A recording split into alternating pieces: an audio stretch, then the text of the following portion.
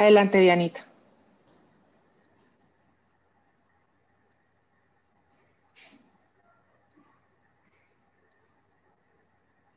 Muy buenas tardes a todos los asistentes eh, a esta nueva ciclo de conferencias que estamos organizando desde la Asociación de Exalumnos de la Fundación Universitaria San Martín.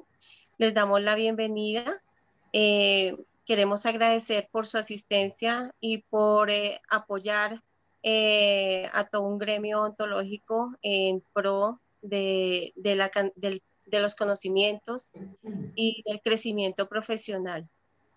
Eh, la conferencia de hoy eh, nos va a ayudar a seguir ampliando los conocimientos respecto a las vacunas. De hecho, ha sido un aprendizaje continuo desde el 2020, cuando inició en marzo la pandemia por el COVID-19.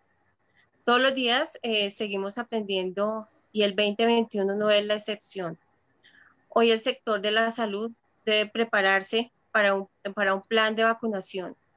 Eh, sé que hemos eh, recibido por diferentes medios eh, de comunicación información de las vacunas, no solamente por las plataformas del Ministerio de Salud, de la Organización Mundial de la Salud, de la Federación Odontológica Colombiana y de otras entidades, sino también hemos recibido por redes sociales millón de información que posiblemente nos ha cambiado la, nos ha llenado de dudas, de confusiones, eh, las cuales esperamos que durante esta conferencia con nuestro invitado podamos, que tenemos todos, y ampliar nuestros conocimientos, que ese es el objetivo. Eh, sabemos que de hecho las vacunas ya se están siendo aplicadas en diferentes y muchos países. Eh, tenemos el caso, por ejemplo, de España, que tiene un aproximado de 4 a 5 millones de personas ya vacunadas. Eh, según los datos estadísticos y análisis que nos ha eh, colaborado el doctor de eh, nuestro invitado, el doctor Jaime Ordóñez, actualmente Colombia tiene una tasa alta de, contagio, lo cual ha hecho que obviamente la pandemia coja una velocidad mayor. Respecto a la conferencia de hoy, hay muchas preguntas. Esperamos que las puedan compartir todos en el Facebook Live y en, en Zoom con las doctoras Karina León y la doctora Magdalena del Valle, que son miembros de la Junta Directiva de la Asociación de Exalumnos de la San Martín. Eh, por ahora eh, quiero hacerles una presentación de nuestra invitada que tenemos, eh, la doctora María Fernanda Atuesta, presidente de la Federación Odontológica Colombiana, y presidente de la Asociación de Salud y de la misma forma es miembro de la Junta Directiva de la FDI. Entonces quisiera que presentara a la doctora María Fernanda Tuesta. Doc. Gracias, doctora Dianita. Pues qué agradable em, empezar el año con una nueva expectativa. Esto, como lo venías contando, ha sido una, un aprendizaje de ciclos. El primero de saber si nos iba a llegar la pandemia a nuestro país, eh, el encierro, la elaboración de los protocolos, eh, cómo íbamos a avanzar para una nueva recuperación de la economía en la odontología. Eh, por supuesto, cada, cada, momento, como que cada espacio de tiempo nos iba requiriendo un mayor esfuerzo y un esfuerzo distinto, distinto donde teníamos que ir aprendiendo aprendiendo cada día más sobre algo que nunca esperábamos llegar a conocer. Pienso que ha sido un año enriquecedor para los gremios en el hecho de que realmente nos hemos em, enriquecido muchísimo con eh, la sabiduría de, personas como el doctor Jaime Ordóñez y como muchos de los que nos vinieron acompañando durante todo un año, eh, estudiosos en la materia que empezaron a estudiar sobre lo que estábamos viviendo en el momento. Ya creo que hoy en día, como odontólogos, tenemos un eh, raciocinio y un conocimiento, un vasto conocimiento sobre lo que es esta pandemia para nosotros, cómo es el manejo de aerosoles, el comportamiento de cada una de las gotículas, de cómo nosotros nos debemos eh, comportar como sector. Lo conocemos muy bien, nos hemos capacitado, hemos sido un sector muy responsable y por supuesto eh, abogamos para que también seamos un sector de relevancia para las etapas de la colocación de la, de la mm, vacuna y por esa razón hemos estado trabajando arduamente con todos y absolutamente todos los gremios, tanto de auxiliares, técnicos dentales, eh, eh, la, industria, la academia. Eh, y, y, todas las asociaciones de egresados y sociedades científicas con el fin de llegarle al gobierno y hacer los requerimientos necesarios para lo que ahorita se viene. Llegamos a la era de la vacuna. Eso ha sido un movimiento muy rápido en cuanto a todo lo que nos ha pasado durante todo este tiempo y llegamos a la era de la vacuna, que es el 2021. Y agradezco muchísimo la participación del doctor Ordóñez.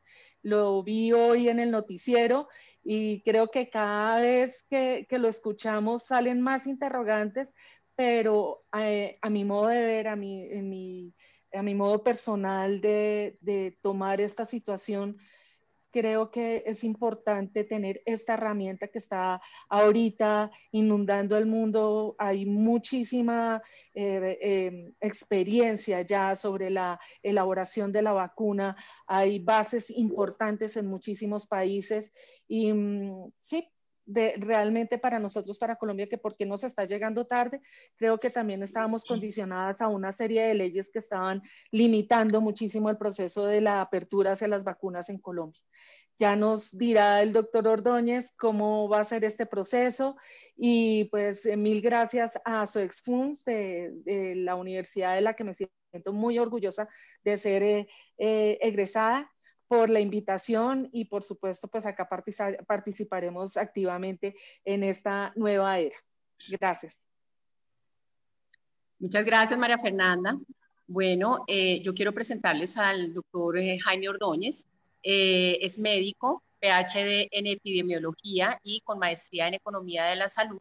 Además es investigador senior en economía de la salud y evaluación de resultados profesor de evaluación de tecnologías en salud, epidemiología y evaluación del riesgo en salud. Ha sido presidente de la Sala de Evaluación de Dispositivos Médicos del INVIMA, consultor del Ministerio de Salud de Colombia en términos, eh, perdón, en temas relacionados con eh, calidad en salud y seguridad del paciente. Y a eso le sumamos que tiene mm, aproximadamente más de 60 artículos de investigación y libros eh, de, texto. Doctor Jaime, bienvenido. Gracias.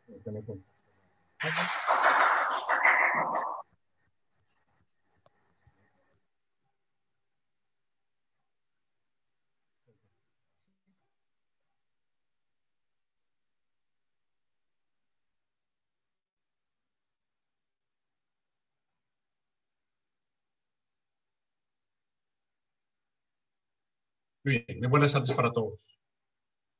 Eh, ¿Está bien el sonido? Sí, señor. Perfecto, muy bien. Vamos entonces a hablar sobre el tema de las vacunas contra COVID, cuáles son las realidades que hay, cuáles son los retos que tenemos. Eh, y una cosa que es cierta es que lo que sea cierto hoy, posiblemente el mes entrante ya no lo sea, porque una cosa que se ha visto con la pandemia es la velocidad con la que cambia la información. Así que eh, podemos asegurar la veracidad de esto durante lo que resta del mes de enero y ya en febrero veremos. Vamos a iniciar entonces, esta conferencia no sería posible sin este señor. Este señor es Edward Y como dice la revista National Geographic, es posiblemente el científico que más vidas ha salvado en toda la historia. Como pueden ver en esa pintura, al fondo hay una señora es una ordeñadora con unas vaquitas. Eh, este señor se inventó nada más y nada menos que la vacuna contra la viruela. Esto es un invento que es de finales del siglo XVIII. Y él quedó muy marcado cuando escuchó una ordeñadora que le decía que nunca iba a desarrollar viruela porque ella ya había tenido viruela bovina. La viruela bovina es una enfermedad que le da al ganado vacuno. Ya vamos viendo de dónde viene la palabra vacuna. Entonces, esto siempre lo marcó a él. Esta era una creencia popular que existía en Inglaterra en el siglo XVIII. Que las personas que ya habían tenido viruela bovina no iban a desarrollar la viruela eh, humana. Para que tengan una idea de la tragedia de la viruela, en 1967, es decir, hace 54 años ya, la viruela mató 2.7 millones de personas en todo el mundo. Esa era la tragedia que teníamos con la viruela. Entonces, de aquí viene el, el tema es cómo a partir de esa observación que él hizo, lo que hace entonces es tomar raspado, tomar tejido de las ubres de las vacas para infectar de forma artificial a otras personas. Y el 14 de mayo de 1796 es una fecha muy importante en el mundo de las vacunas, pues ese día eh, Jenner infecta de manera eh, voluntaria a un niño de 8 años. Hoy en día eso sería pues horrible pensar en esto, en que vamos a infectar a un niño de 8 años. Vean que terminamos los, los ensayos clínicos de las vacunas y no hay niños todavía vacunados, pero en esa época era diferente. Y inoculó a un niño de 8 años con materia infectada de una persona que sufría viruela bovina. Y unos meses después, el niño luego fue inoculado con viruela humana.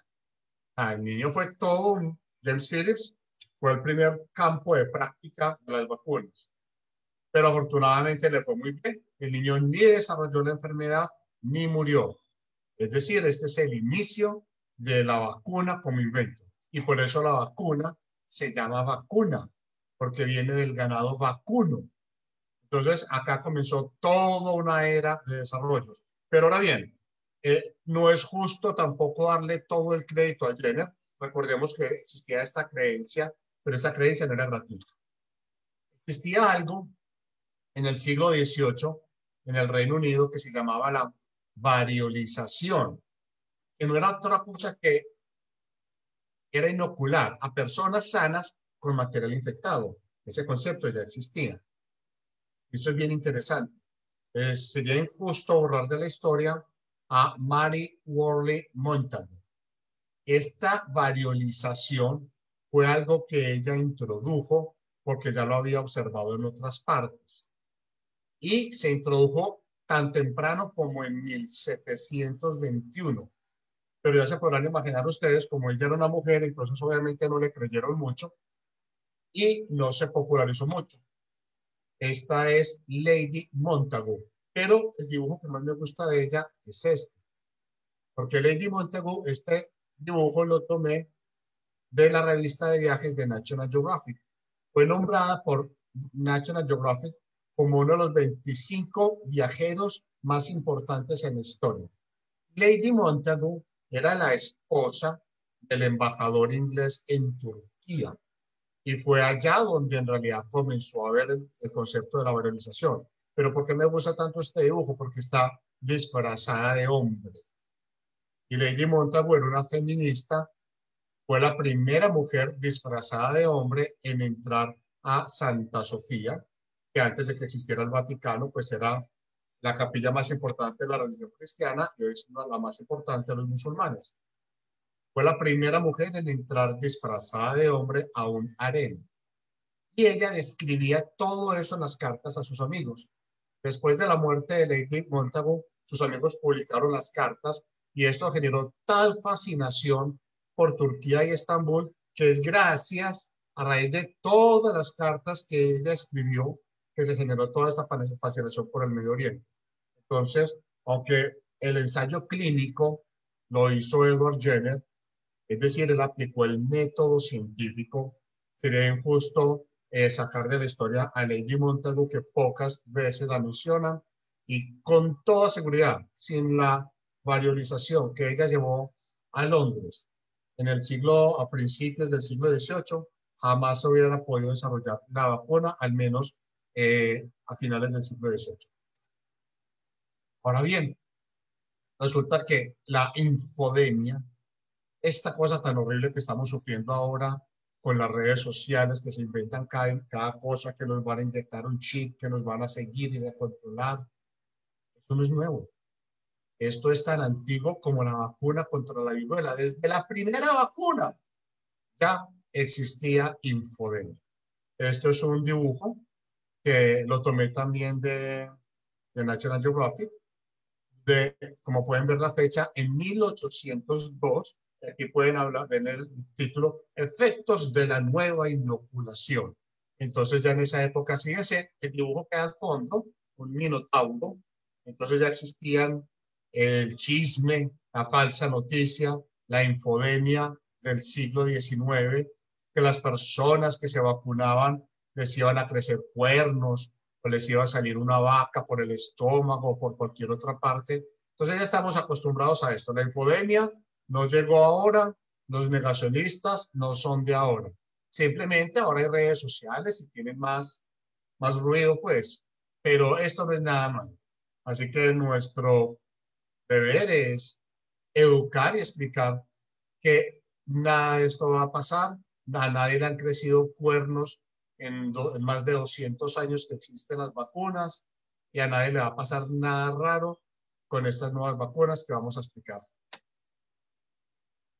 Esta historia tiene un buen final.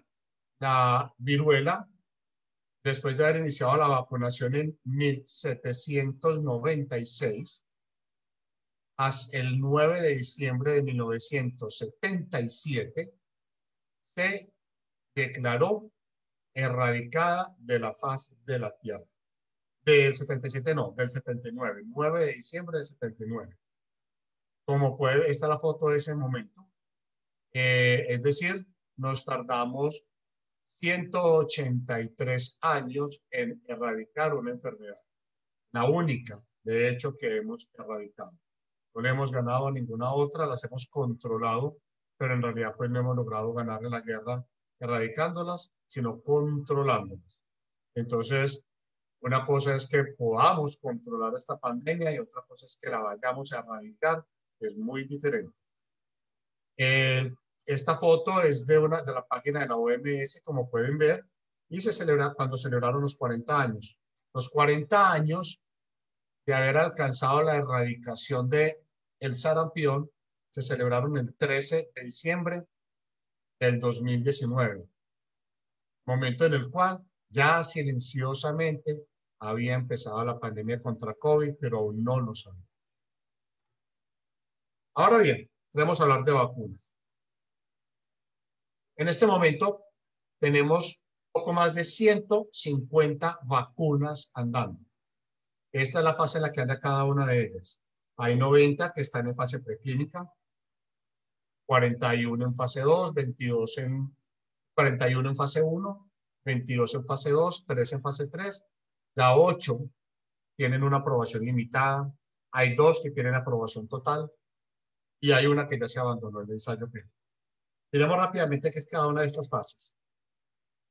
La fase 1, la fase preclínica para iniciar es cuando se hacen primero in vitro y luego en animales. Pequeñas especies, medianas especies y grandes especies.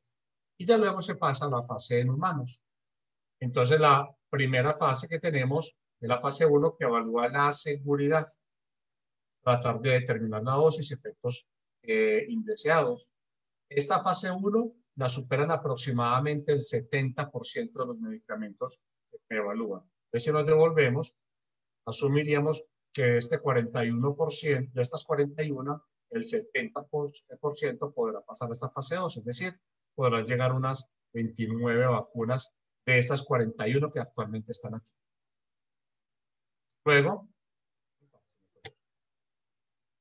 luego pasamos a la fase 2, donde se evalúa básicamente la dosis. Se compara la vacuna contra sí misma. Entonces, lo que se hace es ver cuál es la dosis a la que se puede obtener la mejor respuesta. Ahora bien, fíjense aquí en el detalle. Estas personas de la fase 1 siguen en el estudio. Es decir, se les viene evaluando los eventos adversos desde el principio. De esta fase 2, aproximadamente solo la tercera parte logra pasar a la tercera fase. Vean todo lo que se va descartando. Si aquí había, si 10 vacunas empezaron la fase 1, llegan 7. Si 7 empezaron la fase 2, llegan 2. Y si 2 llegan a la fase 3, tal vez llegue una, eh, una sea aprobada. Entonces, por eso es que hay tantas andando, porque son muy pocos, muchos son las llamadas, pero pocas serán las elegidas. La fase 3 ya es el ensayo clínico grande, el ensayo clínico que conocemos con miles de pacientes para poder comparar el grupo que se vacuna contra el que no se vacuna, o se vacuna con, un placebo, o se vacuna contra otra vacuna, que en este caso no sea COVID. Y es en este punto donde se determina si se le da la aprobación o no. Luego viene la fase 4, que es lo que se llama una fase post-comercialización. Una vez están comercializadas, se sigue vigilando sobre todo los eventos adversos. Entonces, fíjense todo lo que tiene que pasar. Ahora bien, fijémonos cuáles son las dos que han sido aprobadas. Tenemos la Comirnaty, que es la de Pfizer BioNTech, tiene eficacia del 95%. Son dos dosis que se aplican con tres semanas de diferencia. Se almacena siete, hasta, eh, aquí no son siete días, perdón, son cinco días. Cinco días con refrigeración normal y seis meses en congelación a menos 70 grados centígrados.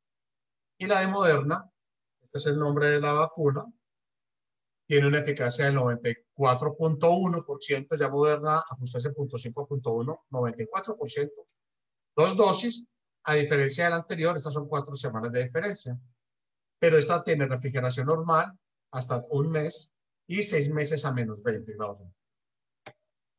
Ahora, veamos cuáles tienen aprobación limitada. La rusa, la Sputnik 5, tiene aprobación limitada en Rusia, Bielorrusia y Argentina.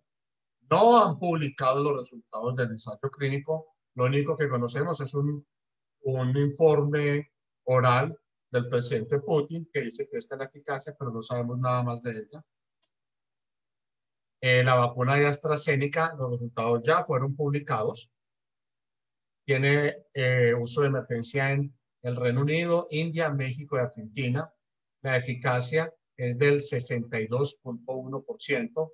Se hizo un subgrupo al cual se le aplicó media dosis y una dosis estándar y en los menores de 55 años se observó que puede tener hasta 90%, pero también eh, AstraZeneca eh, afirmó que la forma de medir la concentración del virus atenuado de la primera dosis se diferenció de la segunda y por esta razón el pasado 24 de diciembre AstraZeneca ha inscrito un nuevo protocolo de investigación junto con el Instituto Gamaleya de Rusia, donde van a, eh, donde ya desarrollaron una nueva vacuna, porque es que resulta que las vacunas de, de los rusos, la de la Sputnik 5 y la de AstraZeneca, funcionan con adenovirus. Entonces lo que hicieron fue sacar una mejorada, pues ellos esperan que sea mejorada, hay que esperar los resultados. Entonces, cuando salgan los resultados, pues ya veremos la nueva vacuna de AstraZeneca, qué eficacia podrá tener, pero por ahora reporta 62%. La de CanSino Bio tiene uso limitado en China, no se sabe aún cuál es la eficacia. Y los rusos tienen una segunda vacuna de lo que se llama el Instituto Vector, eh, se llama la Epivac Corona, tampoco se sabe cuál es la eficacia, no han publicado resultados. Tiene un registro de uso anticipado en Rusia, dos dosis con tres semanas de diferencia. los chinos tienen varias. Esta es la de Sinopharm. Sinopharm tiene varias vacunas andando. Esta es la que ya tienen en este momento. Ya reportaron una eficacia del 79.3. Tiene aprobación de emergencia en China, Emiratos Árabes, Bahrein y Rusia. Se aplican dos dosis con tres semanas de diferencia. Sinovac. Esta es la que se estaba ensayando en Brasil, también de los chinos. Tiene ya registro para uso limitado en China y en Indonesia. Ayer reportaron que la eficacia era del 50%. Se aplican dos dosis con dos semanas de diferencia Este es el artículo que publicó el New York Times ayer. Que obviamente pues se encuentran un poco eh, inconformes, pero pues el resultado es el resultado y eso es lo que, lo que yo. Entonces esta es la eficacia que tiene un 50%. Sinopharm se juntó con el Instituto de Productos Biológicos de Wuhan. También tienen otra en desarrollo, pero dado que Sinopharm ya sacó una solitos con la eficacia que les mencioné ahora, de 79.3, entonces pues en este momento no se sabe si van a seguir trabajando en este proyecto, aunque ya tenía registro para uso limitado en China y Emiratos Árabes Unidos. Los indios tienen varios proyectos andando, ya está la más avanzada, la Covaxin, ya tiene registro para uso limitado en India, aún no han reportado resultados. Es una cosa llamativa, realmente no entiende uno cómo están entregando registros sanitarios sin conocer eficacia, pero bueno, eh, esta es la de los indios. Johnson y Johnson, eh, también es de, ayer, reporta que las, eh, ya muy pronto va a reportar sus resultados, pero también afirman que eh, no creen que puedan producir la gran cantidad que esperaban producir, así que pues no sabemos todavía los resultados, pero lo que está claro es que tampoco podrá haber una gran cantidad de esta vacuna de Janssen. Janssen pertenece, cuando escuchen Janssen, es el mismo Johnson Johnson. Janssen es una línea, una empresa que pertenece al conglomerado Johnson Johnson. Entonces, eh, al parecer no podrán producirla tan rápido como se esperaba. Ahora bien, obviamente tenemos muchas dudas sobre estos desarrollos tan rápidos, ¿cierto? Que vean lo que sucedió. Algo que usualmente se tarda 10 años, se tardó pues prácticamente menos de uno. Fíjense que la fase preclínica, fase 1, 2 y 3, todo junto, se produjo en poco menos de un año. Ya vino la, la regulación y, y ya todo salió relativamente rápido. Esto hay que aclararlo. Vamos por partes. Esto en realidad no es así. El genio o la genia nuevamente es una mujer. Detrás de esta vacuna es la vicepresidenta de BioNTech. Ella es una húngara, una científica que lleva 30 años trabajando en el concepto de utilizar el RNA mensajero como estrategia para desarrollar una respuesta ante una infección o cualquier otra noxa o daño que sufre el organismo. Ella trabajó 30 años en esto, la mayor parte de las veces no tuvo mucho apoyo, pero eh, ella también fue empleada de Moderna. Moderna es un acrónimo de modificado RNA modificado, modified RNA. Entonces Moderna en realidad es el nombre de la empresa a ese concepto de un RNA modificado. Eh, eh, trabajando en Moderna, ella identificó que si cambiaba una de las bases del RNA, el uracilo, por un pseudouracilo, ahí sí le funcionaba la respuesta. Entonces, eso lo logró allá, pero hace mucho, hace más de 10 años, y, ya puede, y luego ya vino toda esta situación. Tan es así que fíjense en esto. En este momento hay unos 15 proyectos de vacunas con RNA. Si esto fuera nuevo, porque hay 15, es decir, debería haber una patente, ¿cierto? No hay patente porque esto lleva ya tanto tiempo que ya las patentes están vencidas. Moderna trató de hacerla valer, pero fue vencida en juicio en julio pasado fue vencida en juicio porque se demostró que esa patente ya estaba vencida. Es decir, es una tecnología que ya lleva mucho tiempo, que no es nueva, que ya había varios medicamentos en ensayos clínicos. ¿Y qué fue lo que sucedió? Que cuando los chinos hicieron público el RNA del coronavirus, pues estos aprovecharon y utilizaron la tecnología que ya tenían. Hoy, eh, BioNTech Pfizer tienen una alianza desde hace unos dos años más o menos, entonces eso fue una ventaja para BioNTech porque obviamente apoyado en la logística de Pfizer logran hacer un ensayo clínico. Conclusión. Esto lo único que demostró es que cuando se hace una gran inversión en tecnología, se obtienen grandes resultados en muy corto tiempo. Entonces, claro, esta, este desarrollo tan rápido que desafortunadamente la mayor parte de la población no entiende, no lo ha entendido aunque esto no es tan rápido como aparentó ser, ha generado desconfianzas. Fíjense, por ejemplo, estas son encuestas en los Estados Unidos de las personas que se vacunarían y los que no. Incluso aquí los desglosan eh, republicanos y demócratas, y los demócratas tienen más desconfianza que los republicanos. Eh, fíjense que otra encuesta de la Universidad de Carleton, donde el 50% definitivamente se vacunaría, el 24% probablemente, el 17% no está, por ciento, no está, el 7% no está seguro, pero fíjense en esto. Esto es Colombia. Esta foto la tomé del canal Caracol, una encuesta que ellos hicieron. Y en noviembre del año pasado, el 40% en noviembre del año pasado no se vacunaría y en ese momento ya estaba anunciada la vacuna. Entonces, claro, eh, el desconocimiento sobre la velocidad con que esto se ha desarrollado es lógico que genere desconfianza, ni más faltaba, eso es absolutamente válido. Yo no creo que esto se trate de culpar a alguien, sino que para esto son estos espacios, para poder explicarle a la población que esto no es un invento que se hizo de la noche a la mañana, es una tecnología que lleva 30 años trabajándose y se encontró una buena oportunidad de desarrollo. Y ahora bien, lo que se va a ver, tenga la plena seguridad que aquí en adelante es un crecimiento de esta tecnología para el uso de, en otras patologías como será oncología, VIH y otras cosas. Y esto significa que esta pandemia, pues como a todos nos ha, ha tocado ajustarnos a toda esta cantidad de incertidumbres. Entonces es válido que estemos llenos de incertidumbres y vamos a tratar de solucionar hasta donde nos ve. Me puse a buscar esto en, en Google. ¿Qué es una vacuna? Si quieren, hagan el ejercicio.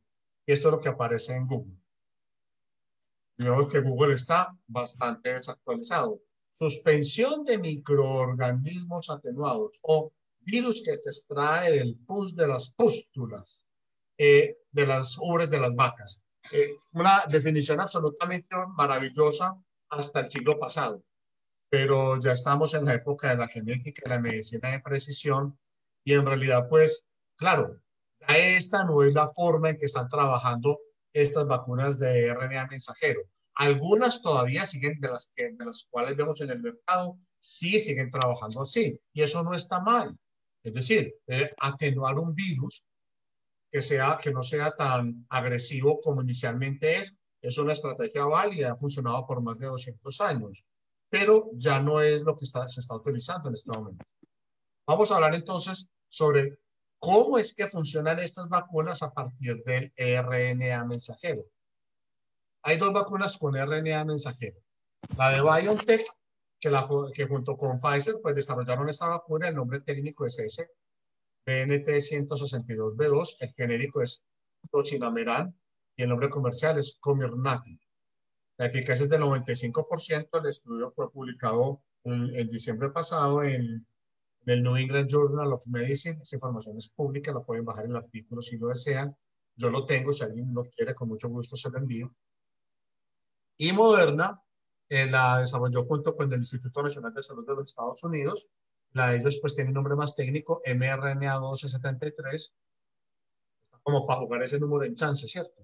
Entonces, ellos tienen su vacuna y su eficacia es del 94.1%. Esta es la vacuna de Pfizer. Ahora bien, fíjense que esta vacuna es, eh, no es de una sola dosis, trae cinco dosis. Y esto es importante porque fue la forma en que encontraron de poderla producir a gran escala en el menor tiempo posible. Entonces, vemos que hay muchas vacunas que viene, por así decirlo, cada niño con su boleta, cada jeringa viene con su dosis, pero eso toma mucho más tiempo y este no es momento de ponernos a hacerla bonito, sino hacerlo bien y rápido. Entonces se empaquetó de esta manera, de forma tal que se pudiera hacer lo más rápido posible. Entonces, por eso es que también rinde tanto guardar la vacuna, me explico. Este, este vial, donde caben cinco dosis, se mete en una bandeja, donde caben 195 frasquitos de estos. Redondeémoslo en 200 para no enredarme mucho. Entonces, imagínense 200 en una bandeja. Eso significa que una bandeja pequeñita trae mil dosis y la caja trae cinco bandejas. O sea que la cajita trae cinco mil dosis. Entonces no es difícil el almacenamiento. Muy bien, sigamos entonces. Ahora bien, a lo que vinimos. ¿Cómo funciona esta vacuna? Arranquemos por lo primero. Bienvenidos al mundo del coronavirus. Esto es un virus. Un virus no es nada.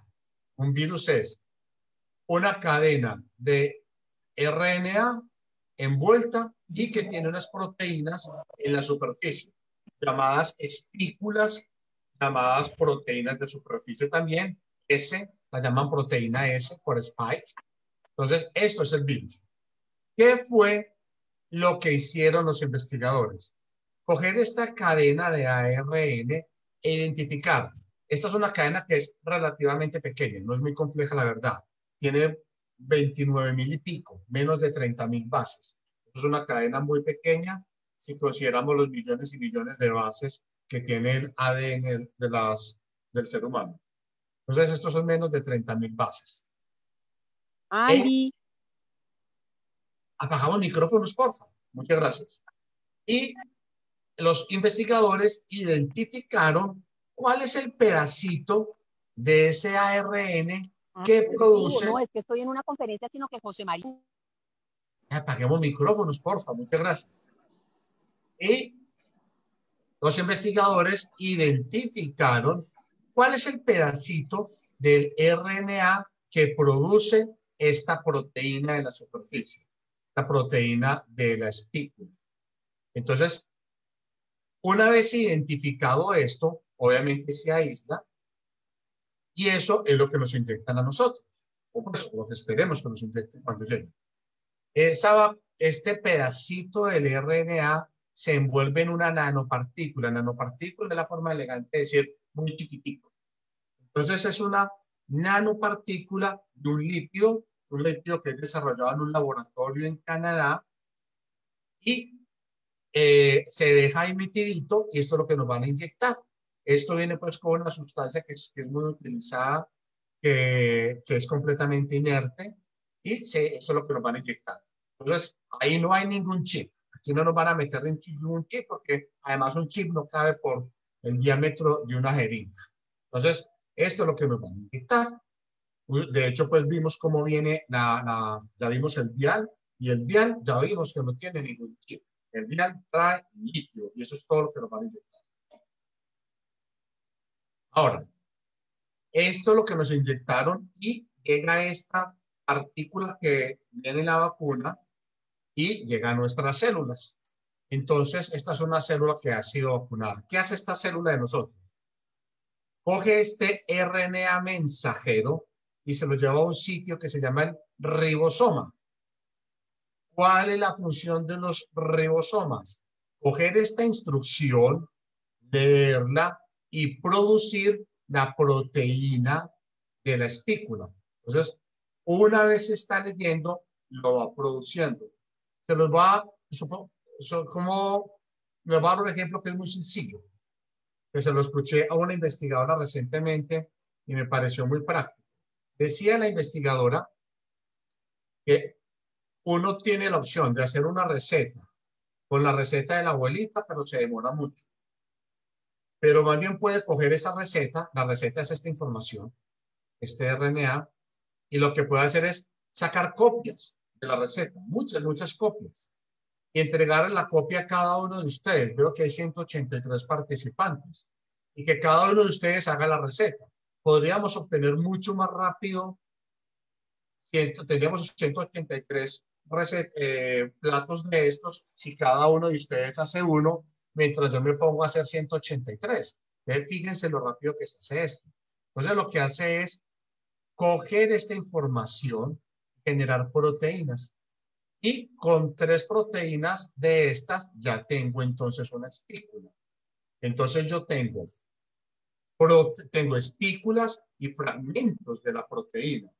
Y una vez los produje, pues ya los voy sacando y se van protruyendo. Vea lo que voy haciendo esta célula no está infectada, pero el organismo, nuestro organismo, va a creer que sí. Entonces, va a llegar todo este material y se le presenta a lo que se llaman las células T ayudadoras.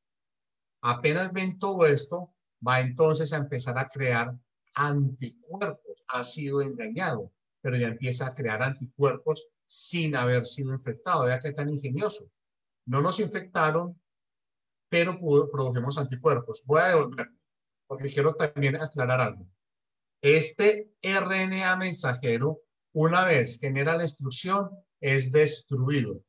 El RNA mensajero no tiene la capacidad de entrar al núcleo de la célula. ¿Por qué es tan importante eso? Porque en el núcleo es donde está el ADN. Aquí hay una membrana del núcleo que no es posible ser penetrada. El RNA mensajero puede salir, pero no puede entrar. Nuestro ADN, cuando necesita hacer algo, producir una proteína, saca un RNA mensajero y se lo manda al ribosoma. Pero una vez sale, jamás vuelve a entrar. Entonces, esto es bien importante aclararlo. Porque hay personas que dicen, ah, es que nos van a inyectar un material genético. Sí, es cierto. El RNA mensajero es material genético. Pero ese material genético no tiene la capacidad de generarnos ningún daño genético. Porque ese material no puede entrar al núcleo de nuestra célula. Solo trae esta instrucción, se producen estas proteínas y queda destruido. Es decir, esa receta se destruye una vez, una vez se realizó la receta. Entonces, llegan nuestras células T ayudadoras, identifican esto y comienzan entonces a desarrollar anticuerpos activando las células B, que van a ser entonces de, las células de memoria, que van a tener entonces la capacidad de coger esta proteína de la superficie y desarrollar anticuerpos que van a ir a pelear contra esta célula que fue vacunada. De esta forma tenemos entonces que cuando el virus real entre, la próxima vez que seamos infectados, ya tenemos estos anticuerpos que fueron desarrollados previamente gracias a que nuestro sistema inmune fue inteligentemente engañado. Lo engañamos con una foto. Hagan de cuenta cuando en la guerra eh, engañan al enemigo poniéndole una foto de un tanque de guerra. Acuérdense en la guerra del Golfo Pérsico que los gringos llevaron tanques de guerra de plástico y los inflaban y le hacían creer a los iraquíes que eran tanques de guerra. Eso hicimos. Le hicimos creer al organismo que estaba infectado, pero nunca estuvimos infectados. Lo único que tuvimos fue una proteína que le hizo creer para que desarrollara anticuerpos. Eso se llama inmunoterapia. Y tengan seguro que eso va a ser lo que va a dominar el ejercicio de la medicina el resto de nuestras vidas, porque es una estrategia muy práctica para que nosotros mismos desarrollemos, por así decirlo, la cura, como decía la canción, la contra. Entonces, en ese orden de ideas, vamos a desarrollar la contra para poder pelear contra estas noxas que nos generan algún daño. Esta ya finalmente nos, tenemos las células T activadas, que son las asesinas, y se le presenta entonces esta, este fragmento y obviamente va a empezar a asesinarlas porque las células beta las han activado y van a, matar todas estas espículas y ya no tiene ninguna posibilidad. Y esto es bien simpático. Vivimos expuestos a un montón de cosas y luego nos quejamos diciendo que es que no estamos interesados en, algo que, que, nos haga daño cuando vea la cantidad de cosas que nos hacen daño. Ahora bien, ¿qué retos estamos enfrentando en este momento? Que nos quede muy claro esto. Las vacunas no previenen enfermedades. La vacunación es la que las previene. Entonces el reto de desarrollar la vacuna ya está chuleado. Teníamos una lista de chequeo inventarse una vacuna contra COVID, chuleado. Ahora viene el reto. Siguiente, vacuna. El gobierno lanzó el Plan Nacional de Vacunación contra el COVID-19. Es un documento que ustedes escriben esto, lo pueden encontrar gratuitamente en Internet. Y En su presentación, plantean entonces que esta es la cobertura de la población proyectada para el año, para este año, y calculan que se debe tener un 70% de las personas vacunadas, 35.7 millones de personas, menos millón y medio que se han infectado, se deben tener 34.2 millones de personas vacunadas. Eh, esto es muchísima gente. En cualquier parte del mundo, 34 millones de personas es mucha gente y ahí es donde viene el reto grande eh, para el gobierno, para este, para cualquier gobierno. Vemos que en este momento en realidad el único que, que tiene un desarrollo realmente impresionante es Israel, que viene vacunando como 150 mil personas diarias en un país de 10 millones de habitantes. Eso es muchísima. Entonces, ¿qué es la inmunidad de rebaño y el número básico de reproducción que hacen parte de este reto? Esto es cuando algunas pocas personas se han vacunado. Entonces, tenemos unas personas saludables que no se han vacunado, que son las que están en verde y unas saludables que están vacunadas, que son las de amarillo. Pero tenemos unos tres enfermos que no se han vacunado. Es cuando unos pocos se han vacunado, claro, unos pocos infectados van a infectar a la mayoría. Uno no pretende vacunar a toda una población. ¿Por qué? Porque es muy difícil. Pues es difícil vacunar 35 millones, vacunar 51 es muy berraco. Hay que ser honestos, es muy difícil. Entonces existe algo que se llama la inmunidad de rebaño.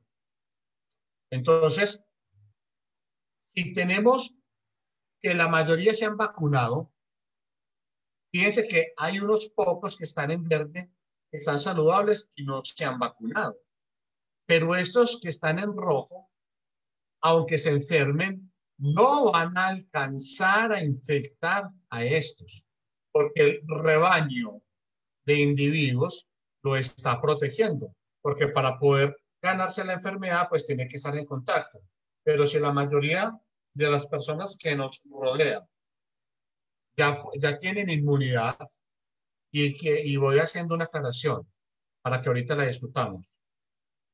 Hay que tener inmunidad y estar vacunado no es lo mismo que tener inmunidad, pero eso lo vamos a ver adelante.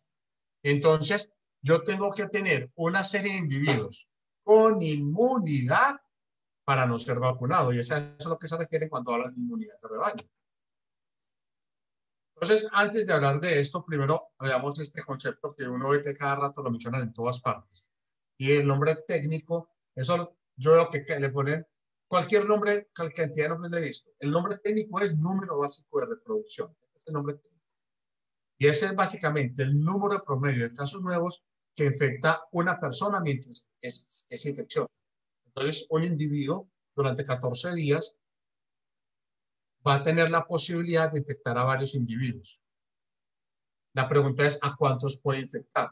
Entonces, entre más individuos puede infectar, pues más infecciosa o más contagiosa es la enfermedad. Lo más contagioso que hay en la vida es el sarampión. Esto es una locura, la cantidad de de personas que pueden contagiar un individuo con sarampión. Un individuo con sarampión puede contagiar a 10, 11 y hasta 12 personas. Es demasiado. Es bastante agresivo. Ahora, lo ideal es que el número básico de reproducción de cualquier enfermedad infecciosa sea inferior a 1. Es decir, que una persona infecte a menos de una. Y entre más bajo, mejor. Si una persona infecta a menos de una, simple y llanamente ya con el tiempo va a ir disminuyendo la cantidad de infectados, la enfermedad será controlada, va a entrar en lo que se encuentra la mayor parte de las infecciones como rubiola, sarampión, varicela, es decir, en un valor endémico que es normal, no han desaparecido, pero son poquitas y es manejable. ¿De acuerdo? Ahora, ¿cuántos hay que vacunar para alcanzar la inmunidad de rebaño? si ese número básico de reproducción es 3, pretendemos que disminuya a punto 9, no a punto 98, sino a punto 9. Es decir, que un individuo infecte a punto 9 individuos o que 10 individuos infecten a 9, que es un valor decente, ojalá fuera más bajo, pero apuntémosle a punto 9, no, no pongamos la vara muy alta, pongamos si queremos que sea punto 9. Entonces, ¿a cuántos hay que vacunar? A 3 menos punto 9, que es donde pretendemos llegar, dividido 3. Es decir, 2.1 dividido 3. Significa que necesitamos que el 70 de las personas tengan inmunidad. Y esto es a lo que se le ha apuntado. Pero ojo, yo quiero ser insistente con esto. Lo voy a devolver.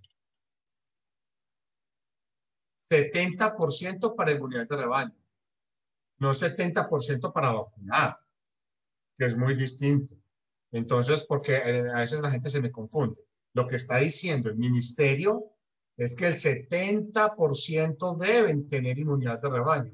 35 millones de personas. Lo que no significa que este sea el número de individuos a vacunar. Este es el número de individuos que deben tener inmunidad de rebaño. ¿De acuerdo? Muy bien. Entonces, así las cosas. Si la eficacia es del 95%, como la vacuna de Pfizer, pues de cada 100 personas vacunadas, 95 desarrollarán inmunidad. Entonces, fíjense, si vacunamos al 70%, el 66.5 va a alcanzar la inmunidad. Entonces no se puede vacunar al 70 si se, si se van a vacunar solo con, con esta vacuna que tenga eficacia del 95. Habría que vacunar un poco más. Diga usted más o menos al 74 o 75% de la población. Es una vacuna en eficacia del 95, hay que vacunar un poco más del 70%. Eso significa que en la medida en que la eficacia sea más baja, habrá que vacunar a más personas. Por eso es tan importante esa discusión que se da sobre la eficacia de las vacunas, porque dependiendo de ellas va a depender cuándo alcanzo la inmunidad de rebaño. Ya, vamos viendo cómo toda esta rompecabezas va teniendo más lógica. El problema comienza aquí, señores. Y es que hay una serie de artículos que han establecido que este valor de, eh, del R sub 0 puede variar entre 6.32 en Italia, 5.08 en Alemania, 6.07. Ya hay estudios, este lo 6.47, ya hay estudios que lo tienen en 7. Entonces vean aquí el problema. Si este número no es 3, sino que es 7, y nuevamente pretendemos que disminuya no 0.98, sino 0.9, entonces la inmunidad de rebaño es 7 menos 0.9 dividido 7. 6.1 dividido 7, es decir, se necesitaría que el 87% de las personas tengan inmunidad. Eso significa que se necesitarían vacunas con alta eficacia. Supongamos que la vacuna de Pfizer fuese la, que, la única que se utilizara, 95% de eficacia si logramos vacunar al 92 al 93% de la población con una vacuna cual, eh, del 95% de la población tendríamos una muy buena inmunidad de rebaño. Entonces, por eso es tan importante el tema de la eficacia de las vacunas, porque dependiendo de esa eficacia, vamos a alcanzar esa inmunidad. Entonces, yo sé que en este momento se está hablando del 70% de inmunidad, pero desafortunadamente ya hay varios artículos que están avisando que posiblemente esa, ese número, eh, esa, ese R sub cero sea mucho mayor que 3. De ser eso cierto, se va a necesitar entonces vacunar a mucha más gente y con vacunas de una alta eficacia. Conclusión, nadie va a estar a salvo hasta que todos estemos a salvo. Por esta razón, vamos a tener que seguir utilizando esta prenda durante mucho tiempo para que nos vamos acostumbrando que el retorno a la, normalidad, al menos durante 2021, no va a ser. Por su atención, muchas gracias. Hay preguntas, quedaos atentos, que ya veo que hay varias preguntas. Muy bien. Muchísimas gracias, doctor eh, Jaime Ordóñez. Muy interesante todo lo que nos nos dijo la verdad que yo fui una de las primeras que aprendí muchas cosas. Em, Pues no sé si la doctora Karina y la doctora Magdalena tengan preguntas de Zoom y de Facebook Live para que el doctor pueda aclarar si quedaron dudas, si hay inquietudes al respecto. Eh, buenas tardes, eh, habla Karina León, sí. Tengo aquí una pregunta de la doctora Diana Uribe Jiménez que nos dice, buenas tardes, tengo muchas dudas, sobre todo en personas con alergias. ¿Qué nos puede decir el doctor al respecto de las alergias? Lo que se ha observado es que eh, en personas hiperalérgicas eh, han presentado alergia. Llamó la atención, pero hiperalérgica no es alergia a cualquier cosa. Yo, por ejemplo, soy alérgico a los antiinflamatorios no esteroideos, que es una alergia que no es rara, tampoco no es común, pero no es rara. Así que, eh, en ese orden de ideas, son las personas que tienen muchas alergias. ¿Qué fue lo que se encontró? Que un par de médicos en el Reino Unido, cuando se fueron a vacunar, hicieron una reacción alérgica, pero lo extraño es que apenas hicieron la reacción, ellos mismos sacaron de su bolsillo una ampolla de adrenalina. ¿Quién anda con una ampolla de adrenalina en el bolsillo? Un individuo que es hiperalérgico. ¿De acuerdo? Entonces, en ese orden de ideas, las personas hiperalérgicas pueden tener riesgo, lo que no significa que no esté recomendada la vacunación. Obviamente, eso las personas hiperalérgicas ya están autoidentificadas, ellos saben quiénes son deben hablar con su alergólogo de cabecera para llegar, para establecer cómo lo van a hacer. Lo que se está haciendo en los sitios de vacunación en otras partes del mundo es que cuando se aplica la vacuna, la persona queda 15 minutos en observación. Esa alergia no se hace eh, en 15 minutos, usualmente ya no hay ninguna otra alergia.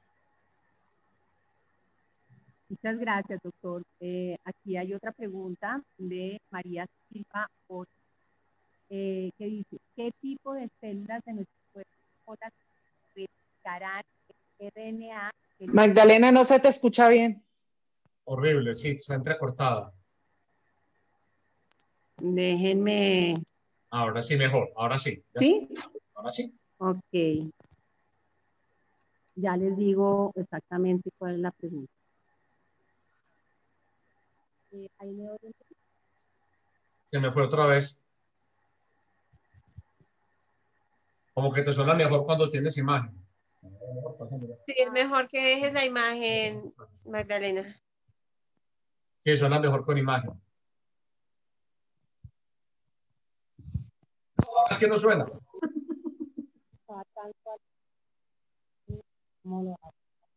Ahí me están oyendo. Lejos, pero lejos. Yo pienso que es por el audífono. Ah, ah, sí, no es Magdalena, pensé Ahora sí. ¿Sí? ¿Bien ahí? Sí, señorita. Bueno, miren, voy a empezar entonces primero con esta pregunta, ya que me están oyendo bien, eh, que la, la, tomé por otro lado.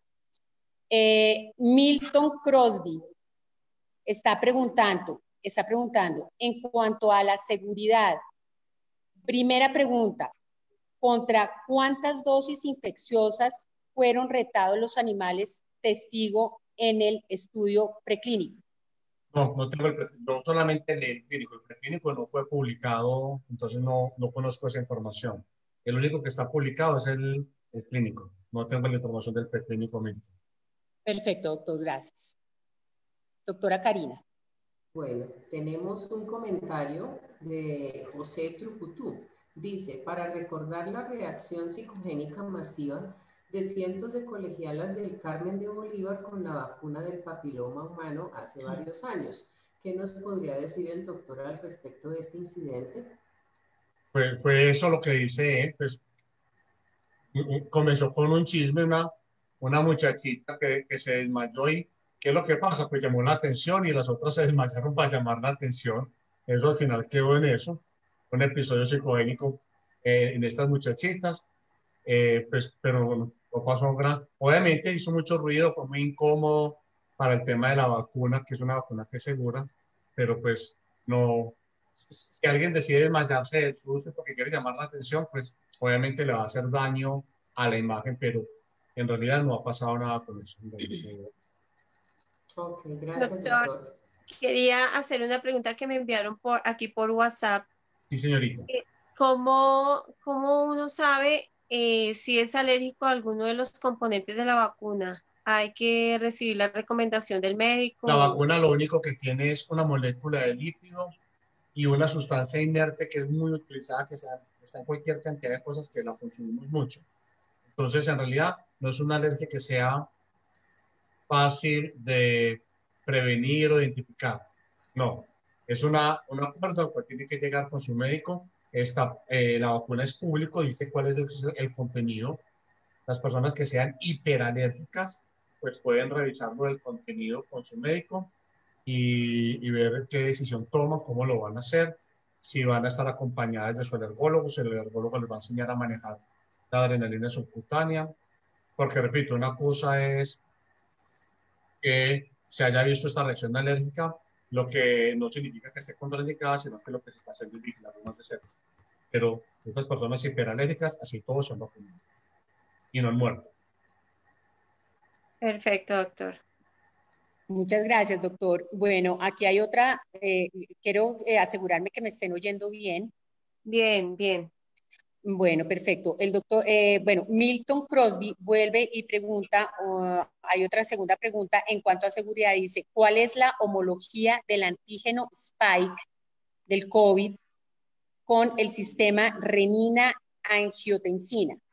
No, lo que pasa es que eh, lo que hicieron en la vacuna fue simple y llanamente coger, ellos no cogieron el virus atenuado, ellos cogieron el pedacito del RNA que produce la, que produce la espícula, eh, pero no cogieron el virus atenuado. Entonces, en este orden de ideas, eh, no, no se está midiendo cómo reacciona el sistema renal angiotensina aldosterona eh, con respecto a, a, la, a la proteína de espícula, sino que lo único que se cogió fue ese pedacito del, de la del RNA que produce la proteína, nada más, porque no tiene virus atenuado. Perfecto, doctor, gracias. Doctora Karina. De Facebook Live no tengo más preguntas. Ok, eh, en este momento tengo una tercera pregunta de Milton Crosby. Eh, él dice, el sistema de formulación de fosfolípidos, lauril sulfato y pulisorbato en las formulaciones de la vacuna RNA y pacientes con alergia estaría relacionado con el desarrollo de la autoinmunidad? No sé, lo que te, ahí sí, lo que te mentira, eso sí es para que te lo responda un inmunólogo. No tengo ni idea. Perfecto, doctor. Tengo una cuarta pregunta de Milton Crosby, donde dice, con respecto al síndrome de Kawasaki, respuesta inflamatoria sistémica causada por el COVID-2 en niños y adolescentes, ¿estaría relacionado con respuesta de tipo autoinmune? Eso todavía es una posibilidad, pero no sé, se ha visto el síndrome de Kawasaki que mencionaba eh, eh, doctor Crosby, pero no se, no se puede saber. Lo más probable es que sí, pero en realidad pues todavía no, no se sabe si es una respuesta autoinmune o si, todo, o si se debe también solamente a algo producido por, por la, la, proteína de la, de la superficie. Es muy probable, es altamente probable, pero esa pregunta no está respondida todavía. Perfecto. Hay una quinta pregunta de Milton Crosby que dice, ¿cuál sería el tiempo de desarrollo en teoría para desarrollo de respuesta de tipo autoinmune en individuos vacunados? Es decir, el desarrollo de, la, de anticuerpos. Ah, más o menos al décimo día ya empiezan a desarrollar anticuerpos. Eso se observó a partir del décimo día, pero obviamente pues se necesitan las dos dosis, el día 21 para poder tener la totalidad, pero comienza el desarrollo de anticuerpos a partir del décimo día de la primera dosis. Perfecto, doctor. Muchas gracias. Doctora Karina, ¿alguna pregunta por Facebook Live? No, no tengo más preguntas, solamente están enviando los correos y están solicitando que si el doctor puede enviar el estudio a los correos. Yo estoy tomando aquí ¿Se puede colocar aquí en el chat? No sé, antes de... Ah, perfecto. El, el, estudio se puede subir ahí. Doctor Ordóñez. ¿Dónde puedo O te lo mando a ti, Diana, y tú lo reenvías. Sí. Doctor Ordóñez. ¿Qué hay? Yo, yo le quería preguntar, entonces, esta, este millón y pico de personas que han, ya tienen, están referenciados, que tienen, que han tenido COVID, es, eh, ellos se pueden vacunar, ¿cierto? Eh, de hecho, lo recomendable es que lo hagan. Lo que pasa es que asumimos que ellos ya desarrollaron inmunidad, ¿cierto?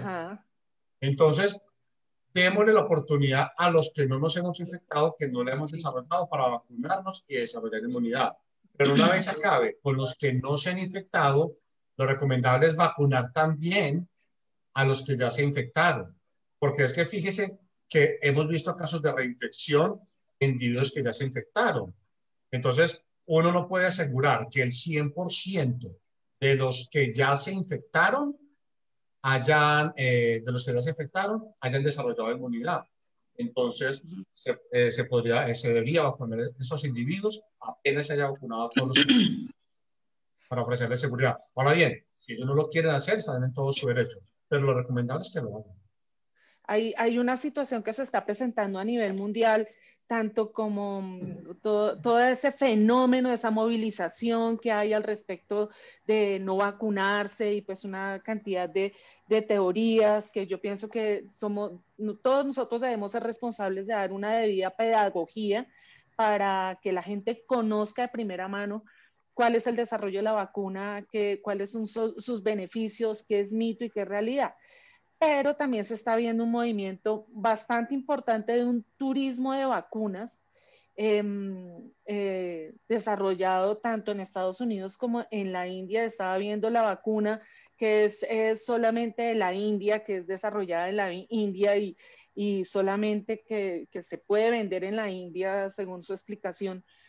Eh, estaba viendo un turismo donde no se sabe a ciencia cierta qué efectividad tiene esa vacuna, pero están promoviendo que llegue la gente allá, esté un mes, hagan un turismo por todo el sector de la India y se coloquen la segunda dosis.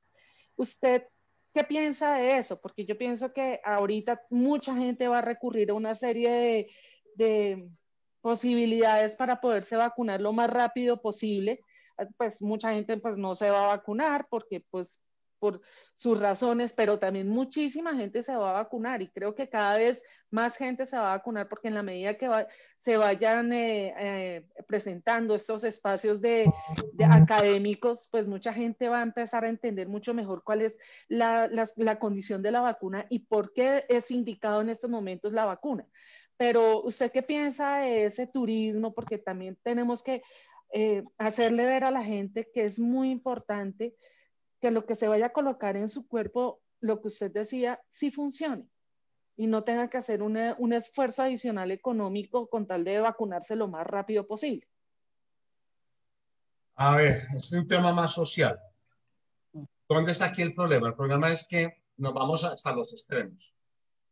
Si uno dice que sí está de acuerdo, entonces todo el mundo se va para Estados Unidos. Si uno dice que no, entonces uno es un xenofóbico. Entonces, eh, es muy complejo. Se está viendo especialmente en los Estados Unidos, donde muchos adultos mayores, porque ellos arrancaron con adultos mayores, entonces adultos mayores están cruzando la frontera, van, y se vacunan, y luego vuelven por la segunda dosis, o se van a Miami y se quedan viviendo con un familiar tres semanas y luego le dan la segunda dosis. Pues lo único que le está preguntando a la gente al final del día es la raza. Lo único que pregunta y no sé por qué el pasaporte lo único que verifican es la edad. Punto. Eh, eso es complejo, tiene tanto de largo como de ancho, porque obviamente las personas que viven en un país, pues también van a querer decir, pues primero yo. Yo, ahora bien, eso es muy personal. Uno pertenece a donde paga impuestos. Esa es mi visión de pertenencia. Yo pertenezco a donde pago impuestos. Entonces, claro, es muy berraco que yo me pongo en el papel de alguien que esté pagando los impuestos en Estados Unidos, los más altos que los de acá. ¿Cómo así? Yo estoy pagando los impuestos.